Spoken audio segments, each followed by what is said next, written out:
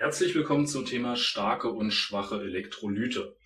Da wir dieses Thema im Rahmen der Säure- und Basediskussion abhandeln, bedeutet das, dass wir uns hier bei den Elektrolyten im Grunde auf Säuren beschränken wollen.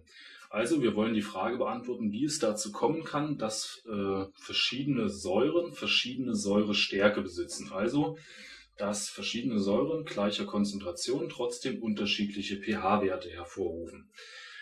Als kleines Beispiel nochmal schauen wir uns dieses an. Wir haben zwei verschiedene Gefäße. Eins ist gefüllt mit Salzsäure, HCl.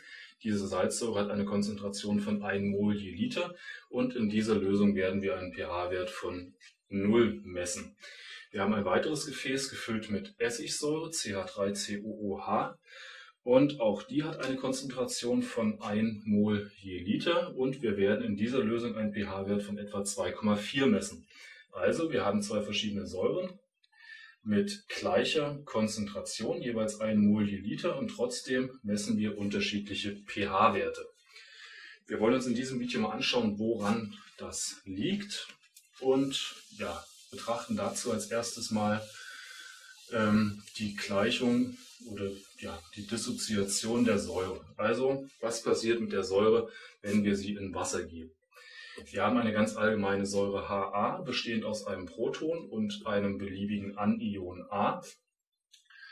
Diese Säure wird in Wasser gegeben und es wird sich ein Gleichgewicht einstellen. Es kommt zur Ausbildung von Oxonium-Ionen H3O+, und natürlich von negativ geladenen Anionen A-.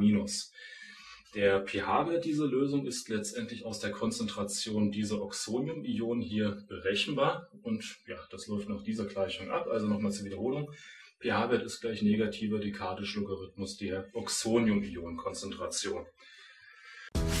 Den kompletten Film und viele weitere findest du auf www.sofatutor.com. Über 7000 Lernvideos erklären dir, was du für gute Noten wissen musst.